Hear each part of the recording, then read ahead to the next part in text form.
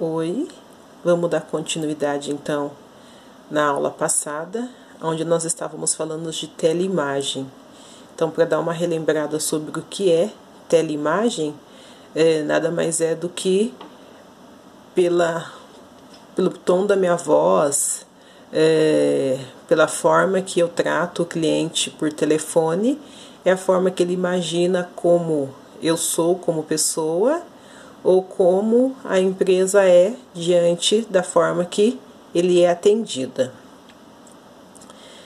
Quando a teleimagem é positiva, a facilidade do cliente encaminhar os seus negócios é maior, pois ele supõe que a empresa é comprometida com o cliente. É, e aí vem a minha pergunta para vocês, né? Que com certeza quando foi ligado para que vocês tivessem oportunidade de fazer o curso, o que chamou mais atenção foi a teleimagem. Foi algo positivo que alguém transmitiu para vocês e vocês né, tiveram a oportunidade de conhecer a empresa e saber que de alguma forma poderia trazer algo positivo nem toda empresa às vezes traz algo positivo. É, a gente consegue ver na televisão quando existe teleimagem, até de empresas grandes, e o cliente acaba fechando o negócio com elas e depois vem a dor de cabeça. É positivo momentaneamente e depois no decorrer do tempo acaba tendo aí problemas com a empresa. Mas o importante na teleimagem é você transmitir algo positivo para o cliente, que ele possa entender que a empresa é comprometida com aquilo que ela está oferecendo ao cliente. No entanto, se a imagem é negativa, vemos normalmente o cliente fugindo da empresa. Quantas empresas que a gente vê aí que o pessoal coloca no Procon, é, acaba passando na televisão porque foi oferecido uma coisa e depois, na hora do acontecer, foi totalmente diferente. E aí é quando o cliente ouve falar daquela empresa, ele foge, porque ele tem trauma daquilo que ele viveu em um determinado momento. Como no atendimento telefônico, o único meio de interação com o cliente é através da palavra, e sendo a palavra instrumento, faz-se necessário usá-la de forma adequada para satisfazer as exigências do cliente.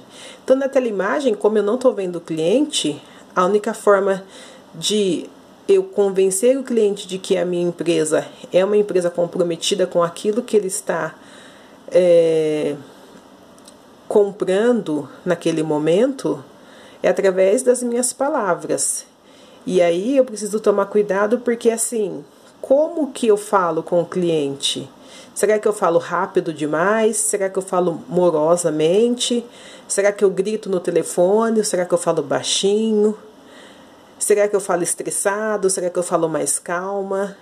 Eu consigo passar para o cliente confiabilidade naquilo que ele está querendo de repente adquirir naquele determinado momento? Então, a principal palavra, né, a principal forma de convencimento, de persuasão na teleimagem é realmente através das palavras. E aí elas precisam ser também faladas de forma adequada. Não adianta eu querer vender um produto se eu não sei oferecer esse produto ou esse serviço para o cliente, ou de repente falar de forma errônea. Isso faz com que o cliente desconfie daquilo que eu estou querendo que ele adquira. Dessa forma, classificamos três itens básicos ligados à palavra e às atitudes, como fundamentais na formação da teleimagem. São eles. Quais são então os três itens importantes na hora de falar com o cliente e ter atitude para que o cliente seja convencido de que a minha empresa é realmente comprometida. Primeiro, o tom de voz. É através dele que transmitimos interesse e atenção ao cliente. Eu acabei de falar um pouquinho sobre o tom de voz, né? É, se o cliente, se desculpa, se de repente o atendente, esse profissional, ele é nervoso, ele fala com rapidez, eu não consigo entender, eu acabo desinteressando daquilo que normalmente ou eu iria adquirir naquele determinado momento. Ao usarmos um tom frio e distante, passamos ao cliente a ideia de desatenção e desinteresse. Então, às vezes eu falo num tom tanto faz, tanto fez, distante, longe. O cliente está perguntando uma coisa, eu fui lá para Marte, passei em Vênus, depois voltei de novo para a Terra. A desatenção daquilo que o cliente está me perguntando, o desinteresse de querer mostrar aquilo para o cliente, faz com que realmente ele fuja da empresa. Ao contrário, se falamos com entusiasmo, de forma decidida e atenciosamente, satisfazemos as necessidades do cliente, de sentir-se assistido, valorizado, respeitado importante. Agora, se eu estiver ali ativo, atento, entusiasmado com a aquisição daquele cliente, é, falando realmente de forma que ele possa confiar naquilo que ele está adquirindo, pode acontecer dele não adquirir naquele momento, mas se ele realmente quiser adquirir aquele produto ou serviço, ele vai voltar pela confiança que foi dado a ele. O cliente, independente se ele vai comprar ou não, ele quer se sentir valorizado, respeitado, ele quer se sentir importante por uma pessoa, por um profissional que esteja atendendo, independente da venda ser realizada naquele exato momento ou ser realizada daqui a um determinado tempo. O uso de palavras inadequadas, pois com elas o atendente passa a ideia de respeito pelo cliente. Aqui fica expressamente proibido o uso dos termos como amor, bem, benzinho, chuchu, mulherzinha, queridinha, colega.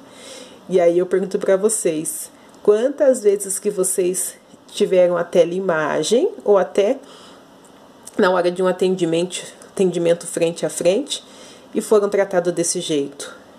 Quantas teleimagens que vocês é, ou fizeram adquirindo algum serviço ou a empresa ligou para vocês adquirirem um serviço e vocês foram tratados como meu amor, meu bem, chuchu, queridinha, colega. E aí a gente precisa entender que os nossos clientes não são nossos íntimos. Então, eles precisam ser tratados com muito respeito. Nós não sabemos se o cliente gosta que chame ele de benzinho. Nós não sabemos se, a gente, se o cliente gosta que chame ele de queridinha.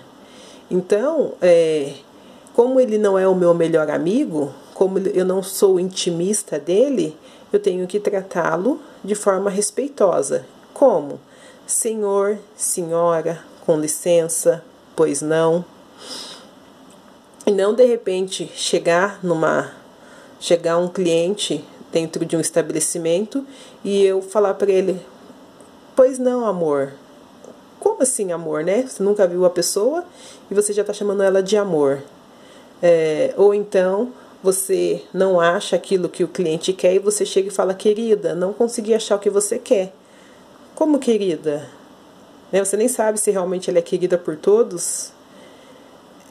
Ou colega. Como que você vai chamar a pessoa de colega se você nunca viu ela? A gente entende que colega é aquela pessoa que trabalha ou está diariamente conosco ou estuda conosco, aonde nós acaba se vendo aí de segunda a sexta-feira. É uma pessoa muito próxima. Então, dentro do profissionalismo, eu não posso tratar o meu cliente com intimidade. Aqui eu estou falando de algumas palavras, mas o cliente também. Você sabe se ele gosta de ser tocado? Às vezes você né, vai ser atendido, o cliente põe a mão no seu ombro, põe a mão no seu cabelo. Será que o cliente se sente, não se sente constrangido em chegar numa loja e esse profissional, né, se é que a gente pode chamar de profissional, atender ele com termos como nós falamos, ou de repente chegar tocando nele, falando que o cabelo dele é bonito, falando que é, a sobrancelha dele é bonito, que a roupa dele é bonita e colocando as mãos sem saber se realmente o cliente gosta de estar vivendo aquele momento.